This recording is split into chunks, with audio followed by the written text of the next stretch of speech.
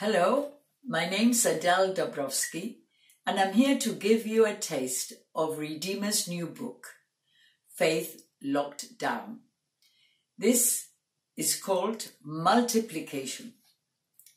This morning I was reading about the feeding of the 5,000 men, plus all the women and children in Matthew's Gospel. Somehow I felt this was such a relevant passage for us today, at this time when so many of us are confined to our homes because of COVID 19 and may be feeling useless or inadequate. Matthew tells us that when the disciples came to Jesus and told him to send the crowds away so that they could buy food, his answer was, They do not need to go away. You give them something to eat. I love the fact that he recognized that they had a need to satisfy the hunger, which often happens to us all when we've been in a lengthy meeting. But his next words are astounding. You give them something to eat. I can imagine if that had been sent to me, I would have thought, me? Doesn't he know that I don't have anything with me? Where am I going to get food from? And who's going to pay for it and cart it all the way back? No way I can feed them. Haven't we all sometimes felt like that when faced with a situation or challenge which is so great, so beyond what we can do, beyond our own ability? This can make us feel so insignificant and so powerless to do anything about it. And now, to make it even worse, we are stuck inside our homes, having a hard time to keep our spirits up. But Jesus still says, You give them something to eat. To you, to me, to all of us.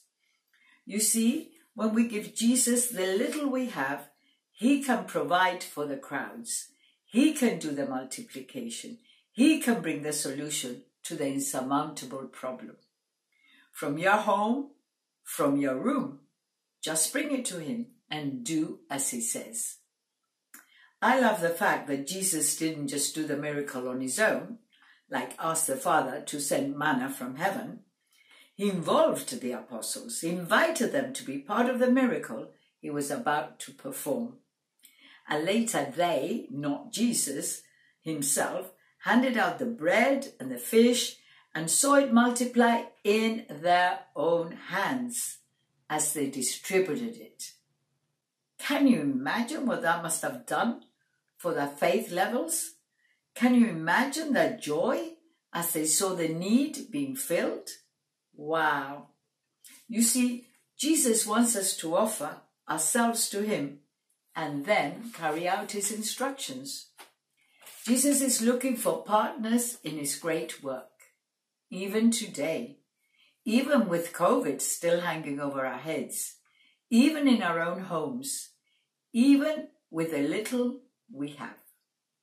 Let's place whatever we have before Jesus today and say, Jesus, I only have this to give you. It's not much, but show me how to use it for your glory. We will be amazed at how he can multiply it. Thank you for listening. Look out for news on where you can get your copy of Faith Locked Down. Bye for now.